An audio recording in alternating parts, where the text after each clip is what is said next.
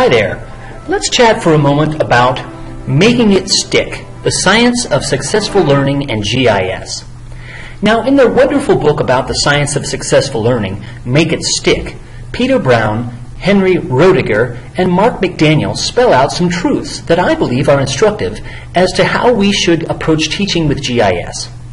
First, the authors claim that learning is deeper and more durable when it's effortful. Effortful. Learning that's easy and that is like writing in sand. Here today and gone tomorrow, say the authors. Now, despite the fact that teaching and learning with GIS is far easier than it was a decade ago or even a year ago, I think we as educators do a disservice to our colleagues in education or to students when we say it's easy. First of all, teaching and learning are difficult tasks, whether it is for GIS or anything else. It's not for the faint hearted. Second, think of everything that goes into teaching with GIS. A balance between content knowledge, skills, and the geographic perspective. Yes, it may be easier technically to bring in, for example, a CSV into ArcGIS Online than it was to bring in a spreadsheet into ArcInfo back in the 1990s. But even this skill relies on some key foundations. A few of them are, what is a database? How can I create one? How can locations be mapped? How can I work with latitude and longitude pairs or street addresses? What are the pros and cons of choosing a certain map projection over another? Furthermore, recall a time when working in GIS when you tenaciously stuck to a problem you were grappling with and finally figured it out. It's so rewarding, right? When you finally figure it out.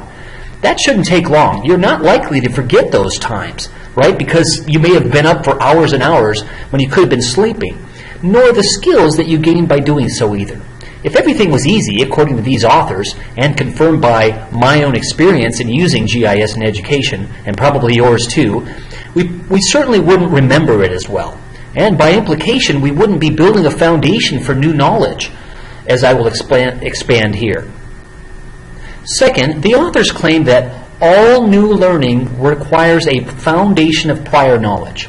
Now, how often do we as educators, or we as students for that matter, want to skip right to an advanced task without understanding the knowledge and skills that uh, need to be in place first?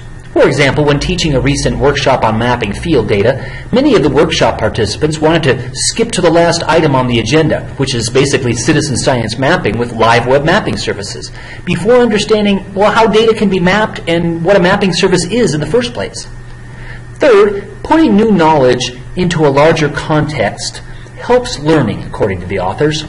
Now, one of the purposes of what my colleagues and I write about and make videos about, the Ed community resources, webinars, the T3G Institute, Connect Ed, and other initiatives, is to ground the use of GIS in the larger context of educational best practice within specific disciplines, content, and within the context of other geospatial skills.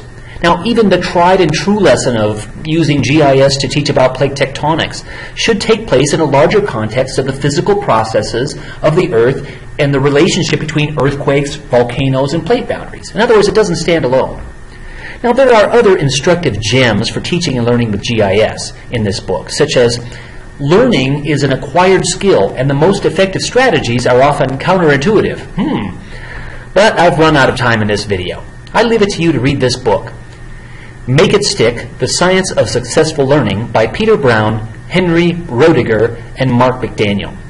I also encourage you to read some reflections by my colleague Charlie Fitzpatrick, and also an article in Education Week about grit.